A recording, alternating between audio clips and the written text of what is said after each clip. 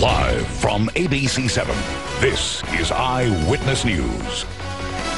A local company uses a very high-tech way to preserve fresh food. It involves using super high pressure combined with extremely cold temperatures. The result is food that lasts much longer and may cost less in the long run. Food coach Lori Corbin has the details. What started as a small falafel shop in Santa Monica has bloomed into a 30 year old natural foods company that now uses cutting edge high tech food preparation. High pressure pasteurization, it's a cold pasteurization. Cedar Lane's Robert Atallah says the latest in food preservation is called HPP, or high pressure pasteurization.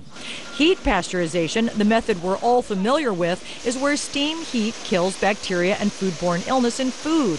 But this unique process compresses food comparable to this. To go down in the ocean 38 miles, that I can calculate to equate to 87,000 psi. That basically means food is kept highly pressurized for three minutes in bone chilling cold. The clever part is that here you have made a food safe without disturbing the biochemical aspects of it. This technology was used in 1994 with guacamole at a Mexican restaurant, then later for cured meats. But Cedar Lane takes this technology to quite a different level. It doesn't compress the product to mush.